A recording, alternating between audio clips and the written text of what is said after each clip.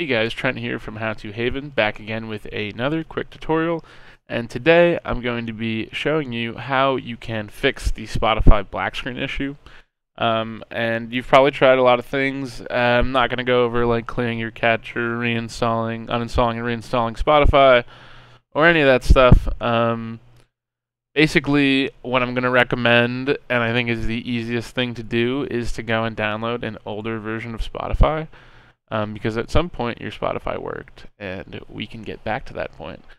Um, now, the my well, you can go online and you can look for if you if you're on something above Windows 8, um, you can uh, you can go and uh, and try and find a, an older version of a Windows 10, but there's no official way to do that, and I don't recommend like searching out some random version.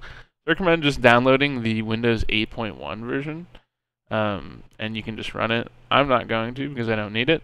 But it's going to say, uh, would you like to replace your current version of Spotify? Just hit yes, and then it will replace it, and it should work. Um, and this is if nothing else has worked for you. This is the only thing I can figure out to fix it. Anyways, guys, uh, if this helped you, drop a like and leave a comment. Oh, sorry, one more thing. Um, after you've downloaded that, you should uh, actually stop it from auto updating. I have a video on that on my channel, which I'll put the link in the description. Anyways, guys, have a good one. Peace.